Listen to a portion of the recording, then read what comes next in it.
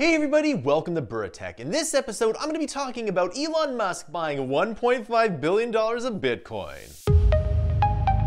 Alright, welcome back. First in this video, I want to make sure that you like and subscribe. The more likes and subscribers we get, the more content we can make. So, on this channel, we tend to talk about technology, entrepreneurship, and making money, and there is no better way to make money today than to buy cryptocurrencies. And the interesting thing about this is that Elon Musk, or at least Tesla, has purchased 1.5 billion dollars worth of Bitcoin. Now that's a lot of Bitcoin, but here's the interesting thing about Bitcoin. If you've been following this channel, of course, please be sure to like and subscribe. But if you've been following this channel, I tell you that there are only so many Bitcoins available. And that's the major reason why Bitcoin is booming. In a world of infinite fiat currencies, the scarcity of Bitcoin makes it valuable. And economics 101, if it's more scarce, chances are it's more valuable. So one of the things that's been happening is that there's been a lot of institutional investors investing into Bitcoin. These are pension funds,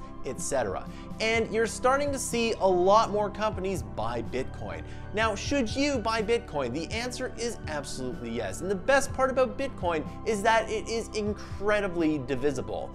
Remember that some things are not as divisible as others. For example, if you want to buy an investment condo, you have to have a down payment and probably some taxes to go buy that condo. And if you want to buy gold or silver, you usually have to buy one ounce, and that is fairly expensive. But Bitcoin is very divisible. For example, the fiat money that you hold is very divisible, up to the nickel or penny, depending on where you live. And what this really means is that if you want to buy something that's $39.85, you can, but you can also buy something that's $39.25. When things aren't as divisible, let's say if you're trading gold back and forth, you couldn't have that level of granularity. So the best thing about Bitcoin though is that it is incredibly divisible. So whether you only have $1 or if you have $1.5 billion, the upside is going to be exactly the same. Now the thing that's on everybody's mind is will Tesla start to buy Ethereum? Because if Bitcoin is digital gold, then Ethereum is digital oil. And there's a lot of really cool things happening in the Ethereum space, especially because Ethereum 2.0 just came out. So the big thing on everyone's mind is will Tesla buy Ethereum, which is the second most popular popular cryptocurrency. If Bitcoin is digital gold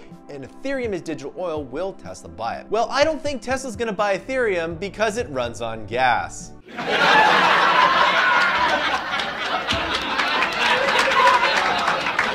all seriousness though, I think Tesla will buy Ethereum and I think Ethereum is heavily discounted at that price. Plus there's a lot of altcoins out there that are heavily discounted. So if you're not buying cryptocurrencies right now, you're not doing it right. You should have at least some exposure. And if you're going to have some exposure, you want to make sure that you actually own the coins. If you go to some brokerages where they have just price exposure, not actually owning the coins, this is something that you do not want to do. You want to own the actual coins because in the future, you'll be able to lend out your Bitcoin at a very high interest rate. In fact, if you buy one Bitcoin today, it might be possible that you'll be able to retire off the income generated from that Bitcoin that is lending it out in the future. The other thing you can do is if you buy 32 Ethereum, you can use it for proof of stake and you can actually make money doing this. So if I had a lot more money, I would be buying a lot more crypto right now. In fact, the best way to buy crypto is the dollar cost average.